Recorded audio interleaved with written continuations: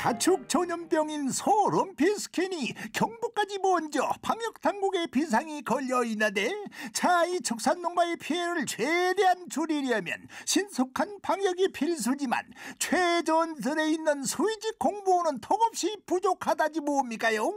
경상북도 동물위생시험소 북부지소 황지영 방역회장 어, 국가적인 차원에서 발생하는 질병이 있잖아요. 그런 질병을 필드에서 직접 검사하고 컨트롤할 수 있다는 게 공무원 수의사로서는 제일 소명이 큰 일이 아닌가 싶습니다.